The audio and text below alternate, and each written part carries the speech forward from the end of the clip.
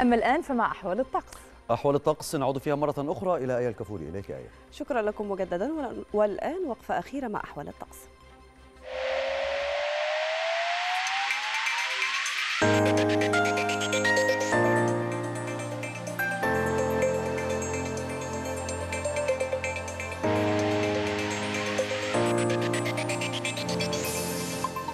يتوقع خبراء هيئة الأرصاد الجوية أن يسود غدا الجمعة طقس مائل للبرودة نهارا على القاهرة الكبرى والوجه البحري بارد على السواحل الشمالية معتدل على شمال الصعيد ودافئ على جنوب سيناء وجنوب الصعيد.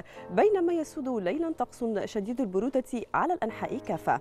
وهذه درجة الحرارة المتوقعة غدا على بعض المدن والمحافظات. نبدأها من القاهرة العظمى 18 الصغرى 10 الإسكندرية 17 12 مطروح 16 11 بورسعيد 17 10 والإسماعيلية 17 9 نذهب بعدها إلى السويس العظمى 17 الصغرى 9 العريش 16 9 طابة 18 12 وشرم الشيخ 22 12 الغردقة 21 والصغرى 13 أيضا الأقصر سجلت العظمى 21 الصغرى 10 أسوان 22 10 الوادي الجديد 21 9 وشلاتين 22 13 وأخيرا حلايب العظمى 21 والصغرى 15 أما مشاهدينا عن درجات الحرارة المتوقعة غدا في عدد من العواصم والمدن العربية والعالمية نتابعها الآن.